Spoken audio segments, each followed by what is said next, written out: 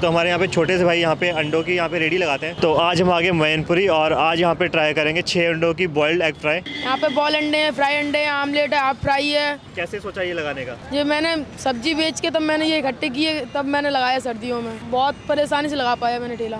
सब्ज़ियाँ बेच के पैसे इकट्ठे करके ठेला लगाया ये हम्म, तो आज हमारे छह अंडों की बॉइल्ड एग फ्राई लगा दीजिए। हाँ लगा देंगे। तो सबसे पहले देखो तो इन्होंने अंडे बॉईल करके यहाँ पे रखे हुए हैं। तो छः अंडे इन्होंने निकाल लिए। तो आजकल स्कूल ही लग रहे स्कूल अभी बंद है। अच्छा स्कूल बंद पड़े हाँ। तो शाम को लगाते हो कि दिन में भी लगाते हो? शाम को तीन बजे से शाम को ग्यारह बजे तक। अच्छा यहाँ पे अंडों की कटिंग स्टार्ट हो गई है तो पहला अंडा इन्होंने काट दिया तो कितने रुपए की रहती है ये छः अंडों की? छः अंडों की साठ की। साठ रुपए की। तो अकेले काम करते हो कि घर वाले भी करते हैं साथ मैं? अकेला। अकेले ही करते हो? हम्म, और मम्मी पापा क्या करते हैं? मेरे पापा की कपड़े की दुकान है अच्छा। तो वो बंद हो गई थी। लॉकडाउन में इसलिए इस पर आगे नहीं तो कभी ये किया नहीं था मैंने। तो अगर आपको भी इनको सपोर्ट करना है यहाँ पे आके बढ़िया से अंडे खाने हैं बॉइल्ड एग फ्राई खाने हैं तो यहाँ पे आके आप इसको ट्राई कर सकते हो।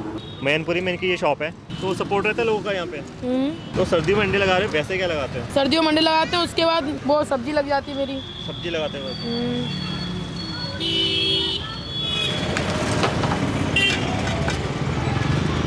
अभी क्या डालने जा रहे हो? घी घी।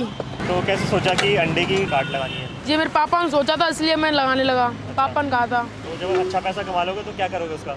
अब पहली तो अभी मैं पढ़ रहा हूँ न पढ़ने में न सही हो जाऊँ तो उसके बाद मैं कुछ देखूँगा। अभी तो ये पापा नहीं है पापा लगाते हैं पहली बात तो। तो जॉब करना चाहते हो कि काम करना चाहते हो जॉब जॉब करना चाहते हो?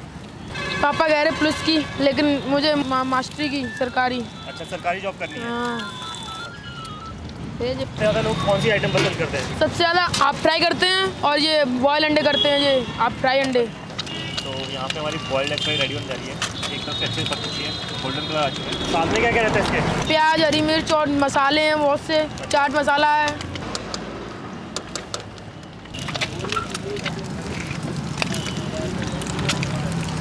तो हमारी बॉइल्ड एग फ्राई यहाँ पे लग चुकी है। अब देखते हैं ऊपर क्या क्या डालते हैं।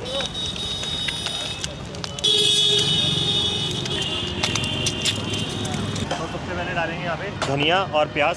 तो तड़का लगाएँगे इसका।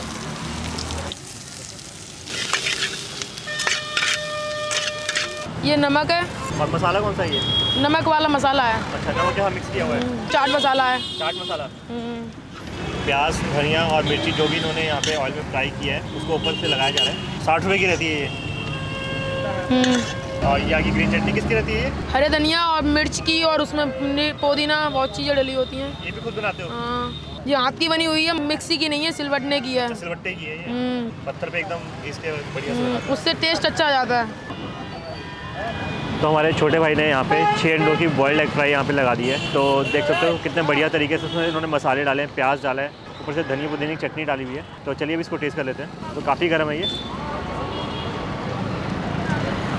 तो सर्दियों के मौसम में अंडे खाने का मज़ा ही कुछ और है। और भैया ने बहुत ही बढ़िया तरीके से बॉयल्ड एग फ्राई बनाई है। दस रुपये में आपको एक अंडे की फ्राई मिल जाएगी बॉयल्ड एग फ्राई मिल जाएगी। मैंने यहाँ पे छः अंडे की लगवाई थी। तो शाम को कितने बजे चालू कर देते हो लग जाता है तीन बजे। तीन बजे। और रात को कितने बजे तक लगाते हो? रात को ग्यारह बजे तक।